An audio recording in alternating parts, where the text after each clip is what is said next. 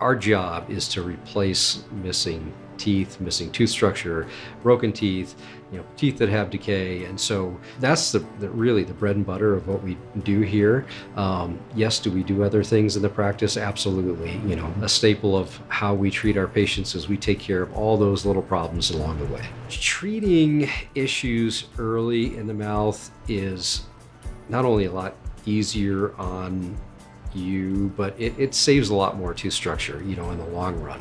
So what we want to do is, you know, we want to be as conservative as possible because once you go in there and you start fixing teeth, you can never get that tooth structure back.